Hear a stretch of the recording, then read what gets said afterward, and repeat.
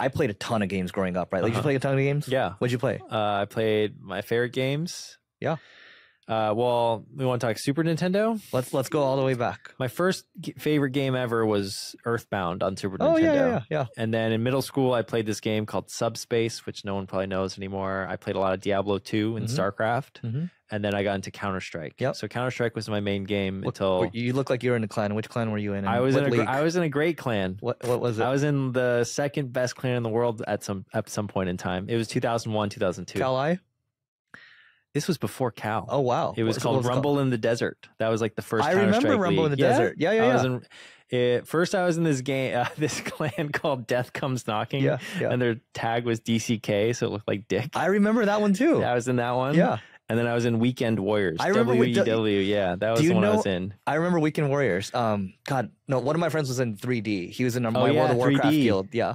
Yeah, Yeah, so yeah, I, yeah. yeah. So then I also played Warcraft 2, Warcraft 3. Yeah. I played all the Blizzard games. I loved Yeah. all the Blizzard. And then I got really into World of Warcraft. Yeah. Right when what, it came what, out. What class were you? I was a priest. Okay, what what server were you on? I was uh at first I was on some small server called like Lightning's Blade. Yeah. And then I joined Tichondrius because my roommate, sorry, not my roommate, the guy that lived down the hall from me was on Tichondrius. Yeah. And this was vanilla. Yeah. And so I joined his guild, Yeah. which was one of the best guilds on the server at the time. So then- here's here's the thing. yeah. So the like, sorry guys, we're, we're nerding We're out a little bit nerding here. on the gaming. So- Can can you talk about how gaming has helped you in life and business? Yeah, yeah, I think um especially role playing games are really meritocratic, right? Like whatever you put in is what you get out.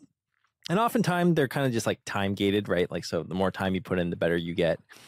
But it kind of teaches you not only does it teach you social skills. So I learned a lot of my social skills from just playing online games as a kid. But it kind of teaches you, I guess, capitalism in a way. Like you know, trading a skill or trading an item for profit and, you know, how to stack that. And um, it's Or just scamming like people with the Tarnhelm or Stone of Jordan scam? the yeah, it actually teaches you to like be really wary against scams too. yeah. Like I got scammed so many times in Diablo 2. The the the Stone of Jordan scam, I've gotten scammed by that. And so now I'm just really paranoid. So it definitely helps you in life. And I think that it also encourages like this rapid feedback system that you can take information that just happened to you and learn Yep. from it.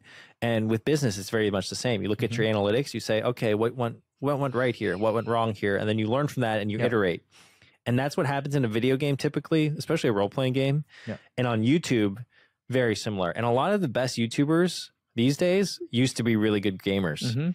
Or they used to be hardcore gamers. And a lot of like the people that work in YouTube, like let's say Mr. Beast hires a YouTuber, he likes gamers because I actually don't know if he likes gamers for sure, but I'm pretty sure he likes gamers because they learn fast Yeah. and they they're gamers, so Yeah. you know they're gonna be online all the time, and also I don't know, they're just the- they're I mean, quick with it. Yeah, Some of the the craziest gamers are like they're the best business people in the world. Like Elon plays Diablo Four, right? Yeah. and like he spends a lot of time there. I, I who there's a you remember Thresh? Yeah. yeah. So he ended up starting like a bunch of businesses, right? So there's a lot of these people. Um, and the, the reason why I, I got to gaming for a second was because um the dopamine hits. The problem is if you're addicted to games, you have an Mm. addictive personality, you start to like look at all the other cool things you can do in business or start like multiple businesses. And that's the danger behind having a gaming background too.